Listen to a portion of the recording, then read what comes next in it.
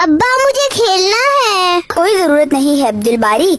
तुम हमेशा खेल लेते हो और बाद में मुझे सब ठीक करके रखना होता है। आपा, मैं वही खेलूँगा। आ? क्या हुआ अब्दुल बारी? तुम ठीक तो हो? सुबह अल्लाह। व इलैहि बेटा हिलो नहीं कांच फैल गई है। बेटा बिल्कुल हिलो नहीं। हमें अम्मी अब्बा की बात माननी ही चाहिए क्योंकि माँ बाप की इज़्ज़त करना उनका एहतराम करना और उनकी बातों को सुनना ये अल्लाह हमें हुक्म देते हैं। अल्लाह हुक्म देते हैं? तब तो मैं हमेशा अम्मी और अब्बा की बात मानूँगा और जिद नहीं करूँगा। शाबाश माशाल्लाह अब्दुल बारी।